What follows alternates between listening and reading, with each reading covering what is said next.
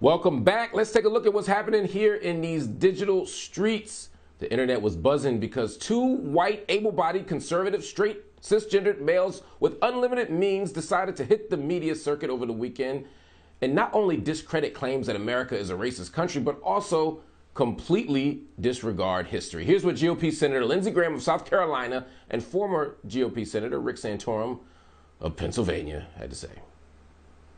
Senator, is there systemic racism in this country in policing and in other institutions? Uh, no, not in my opinion. We just elected a two-term African-American president. The vice president is of African-American Indian descent.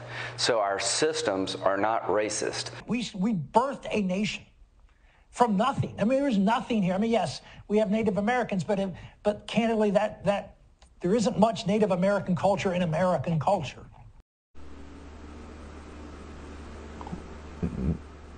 Caucasians going Caucasian. I get that. But this was a pretty high level of caucasity. Lindsey Graham says there's no racism in America because we elected a black president. First of all, that black president was told that he wasn't even American. Half of America doesn't believe that he's even from here.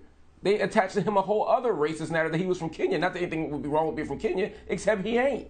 They also constantly attacked him, his wife, etc. They screamed, You lie at his first joint uh, session of Congress. We could go on and on and on. But beyond that, the, the fact that a single black man is the business manager of a white supremacist patriarchal empire doesn't change the fact that it is just that a white supremacist patriarchal empire.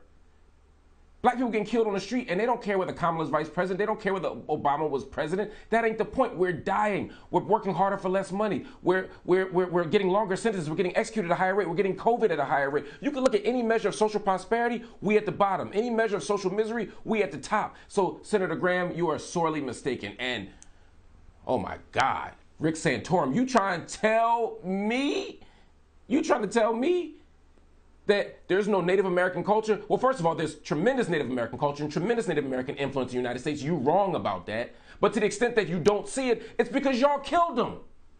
You colonized. You use genocide. You erase people. Settler colonialism, settler colonialism is the reason why you don't see more Native Americans and more Native American culture. So please don't act like y'all just came over here with a religious mission. Y'all came over here to pillage, to destroy, to erase, and that's what you're saying. Don't think you slick when you said we birthed the nation. We know D.W. Griffith, Birth of a Nation. We know the KKK propaganda film. We know what you're trying to do, and it's interesting that you are a CNN contributor because sometimes when people work for CNN and say stuff offline they get, you know what? We ain't gonna do that. We'll be back with more black news tonight, right after the break.